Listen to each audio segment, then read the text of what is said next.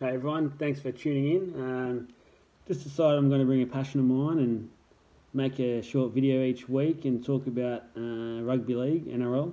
Um, as I said, it is a passion of mine, and I wanted to start sort of showing that side of things. It's a good way to create some talk, and um, please leave some comments, things like that, after the video, and create some more talking points for future weeks. Uh, just talk about last night's game first of all. Dragons and the Broncos. I tell you what, watching this game, I didn't rate the Dragons as much as I did. They didn't really start very well for seasons, and we've seen it in the past, especially last year where they were top of the comp for a long time there, and they faded away to not even make the eight. Um, they've they've got a very good mix, I think, this year. I think Ben Hunt's a great um, addition to the team. They've got James Graham, who for mine is one of those guys you just need in your team. He's going to be one of those ones that he'll go in down the trenches with him. He'll make sure things happen, and he just doesn't stop. He's an absolute workhorse, and I think the Dragons have great, great signing in James Graham. The Broncos, for mine, I think they've got a lot of issues. I think even before last night, uh, the Broncos of old wouldn't have signed a player, say, like Matt Lodge. I think that speaks volumes of their club at the moment. They've lost their chief playmaker in Ben Hunt, and Bennett decides to replace him with a controversial forward. So, um, for mine, their halves aren't halves that are going to win you a premiership, and probably not even come close to winning a premiership. So, be interesting how this year goes for him. I don't see him, as I said, doing much, and I don't think you can start a game with Thaiday as your hooker. He's not a hooker. He's not a ball player. Frankly, he's on his last season, and he's a, probably a reserve forward at best at the moment. So um, it's going to be an interesting year. I don't know if Wayne Bennett has it anymore. I think maybe his time's passed as a as much of a good coach as he has been. I think it's time for him to start maybe focusing just on, say, England, International Rugby League, and going from there. And the first game tonight, uh, Knights versus Manly. Tell you what, I think this one's going to be a good game.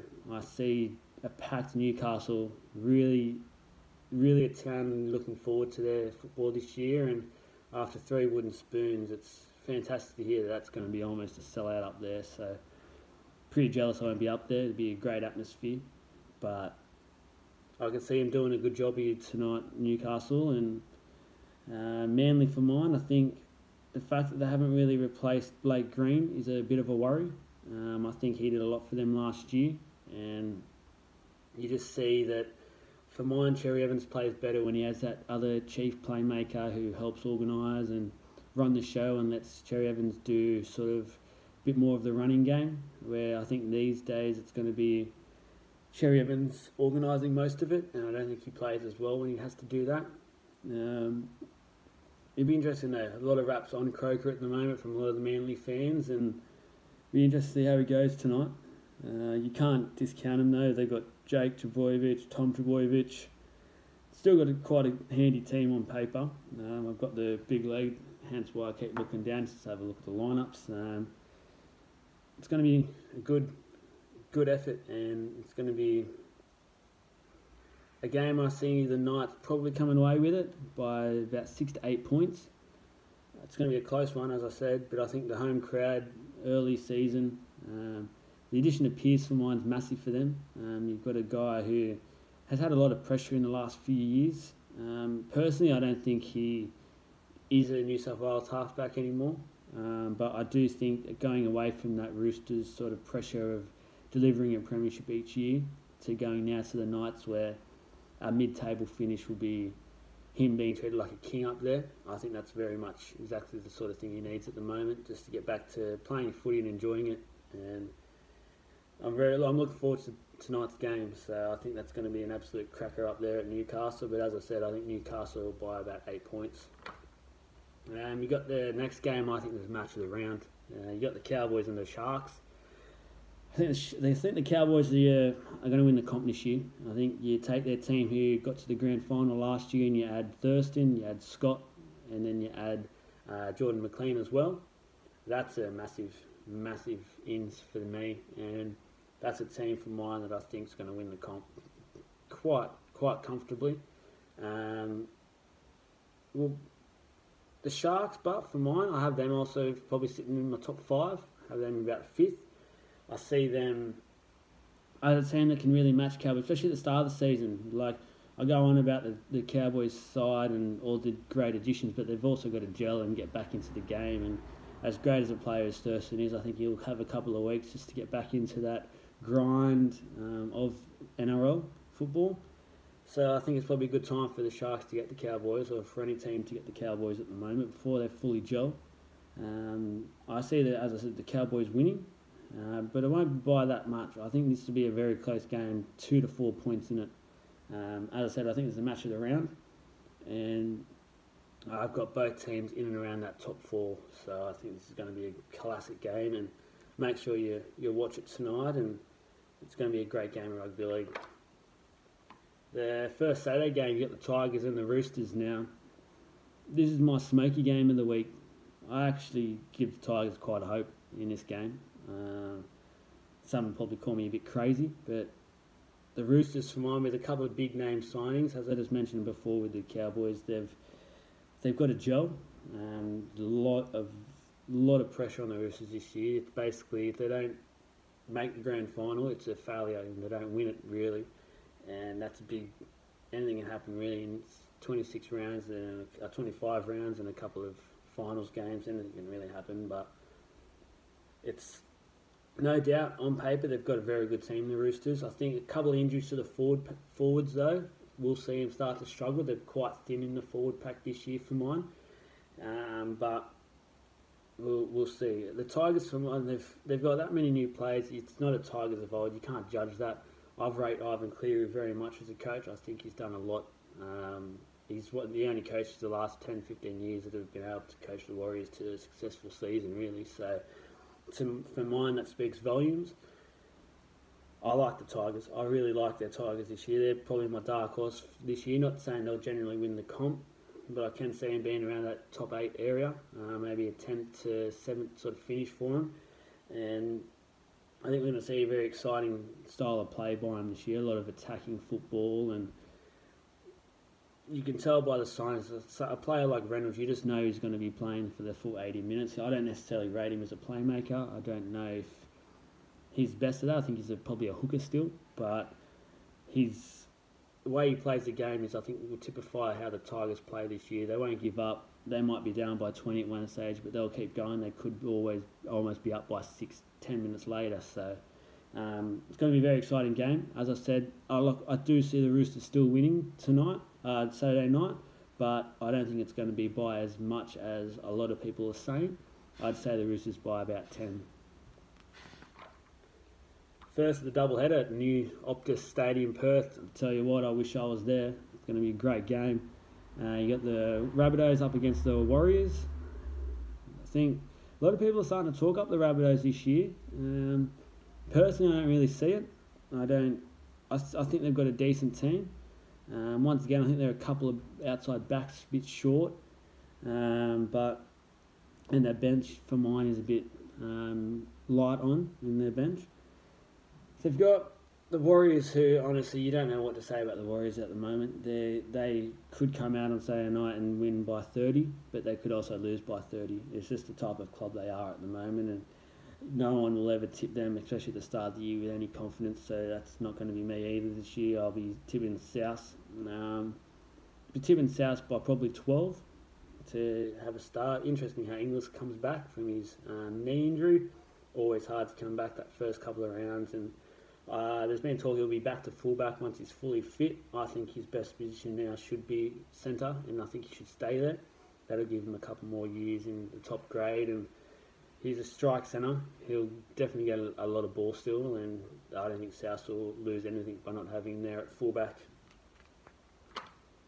The other game on the doubleheader, you've got the Dogs and the Storm.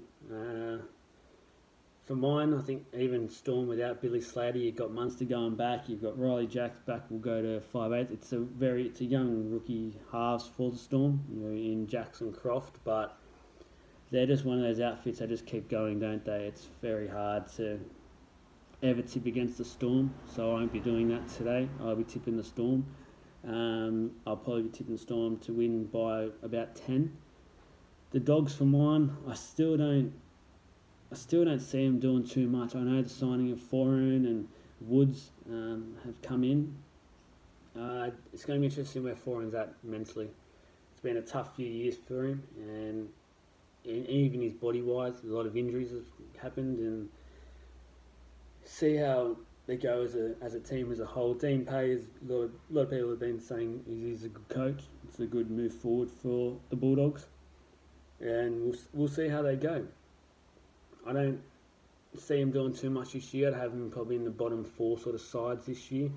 Let him have one more year, get some more of these youngsters, especially in the forwards, younger players up, and see how they go. They've got Marshall's brother, Jeremy Marshall King, coming in off the bench. Um, apparently, a lot of lot of talk has been about this kid who can play.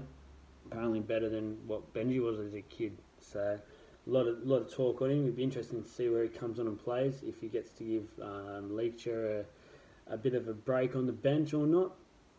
But yeah, it'd be a good, good game. I think. I don't think it'll be a runaway scoreline at all. And but as I said, I do see the Storm winning and Storm winning by about ten or so. So the first first game on the Sunday, you've got the Belle of the West, the old Penrith Panthers and the Parramatta Eels. So obviously a little bit of bias coming in here. Uh, try not to be as biased as I can. I think this is one of the games of the round. Uh, packed house of at Penrith has just been announced, so it's going to be an absolute cracker game to be at, um, which I shall shall be. It's going to be interesting. You've got a lot of things been said out west at the moment about Phil Gould, Anthony Griffin, what's going on in the club, and always when there's smoke, there's fire. And for mine, Panthers are probably a bit of a club at the moment with a bit of pressure on them, which is danger signs. I don't like playing clubs with this sort of um, danger signs there at a, as, at a club level. It's going to show what they are about as a club on Sunday, how they come out. Uh, you can just see if they get beat by 30, uh, which I don't think is going to happen. It's going to be headlines for the next week, two weeks about Anthony Griffin, Phil Gould. So on paper, the Panthers have a very good side still. I think they've got probably the origin halves um, in Maloney and Cleary. Personally, for mine, I think maybe Cleary's starting a little bit too early for origin. Maybe give him another year or so. But if you believe all the media and the hype at the moment, these two are probably the New South Wales half and five eighth. It's gonna it's gonna be a good game. It's gonna be a great game. Um, my club, Parramatta, we've for mine, we've probably got the strongest all-round roster we've had in a good 15, 20 years. I think this is a very good, good side that we've got. Um, also, like we haven't got the the king Gutho back on the side yet, but even with without him, you just look at the back line for mine as one of the strongest back lines of the comp.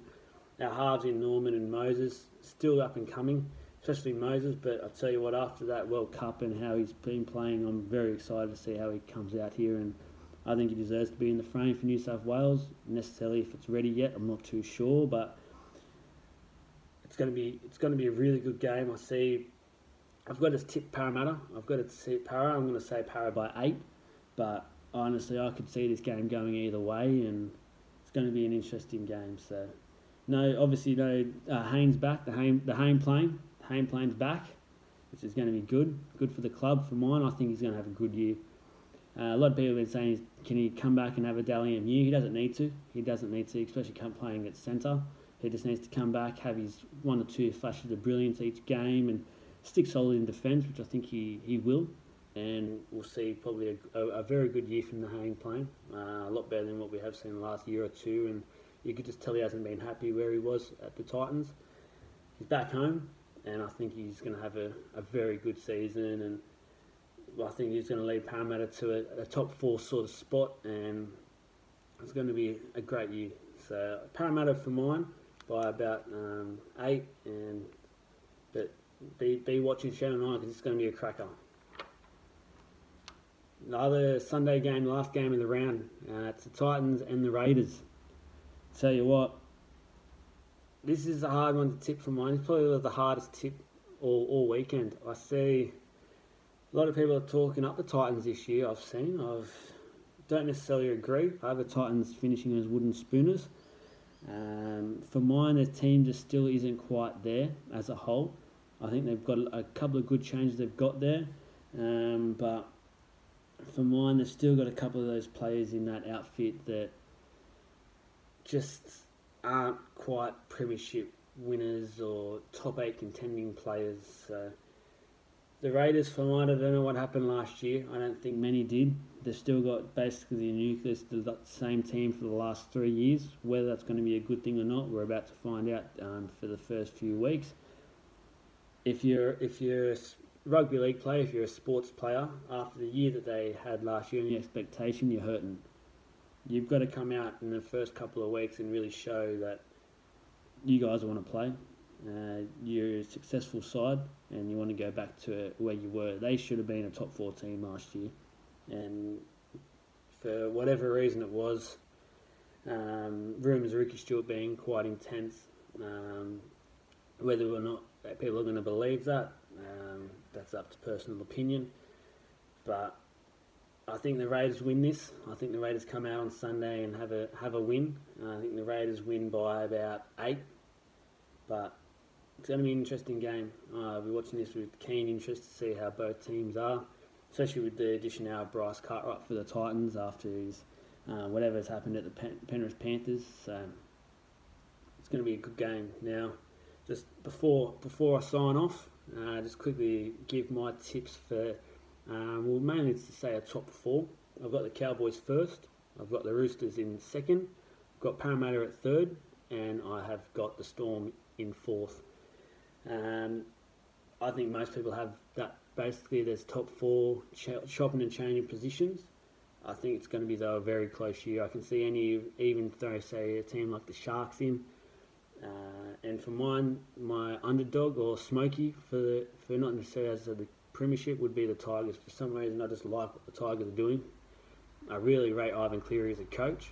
I see a lot of positives coming at the Tigers at the moment, and I think any any if they can get into the top eight, that's a very very good year for them. And but yeah, as I said, thank you once again for listening. Um, just going to do these once every week, just talk a bit of footy, and from now on we'll probably have a bit more talking points, not just about the games coming up, but anything that people want to comment on, we'll bring up and talk about in the next video.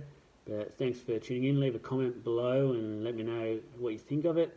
Any suggestions, any ideas, feel free to put them forward. But thanks for listening.